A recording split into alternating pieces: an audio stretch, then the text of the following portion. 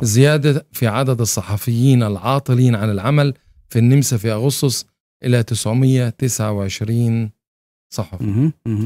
هذا خبر أعتقد يعني بالغ الأهمية.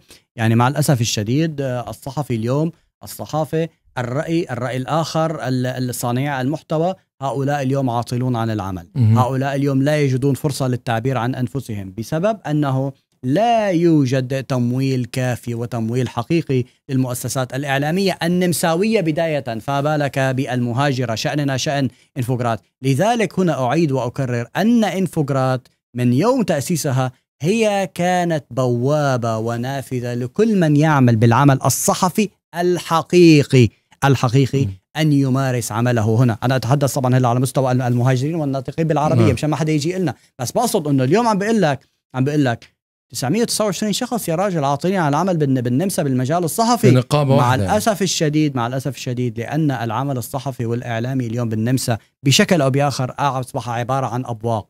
الإعلام النمساوي اليوم أصبح يطبل للحزب الفلاني وللحزب العلتاني أو تكون يعني صحافة مبتذلة بصراحة مثل العديد من الصحف يعني الرخيصة المعروفة. أنا في آه، في النمسا ولذلك أعيد وأكرر وأشدد آه، كلامي أن النمسا ميديا انفوغرات هي مفتوحة لكل من يريد العمل بالمجال الصحفي ولكن بالعمل الصحفي والاعلامي المحترم والمرموق والذي يعبر يعبر عن عن عن عن, عن المجتمع وضمير الناس هنا. في طيب.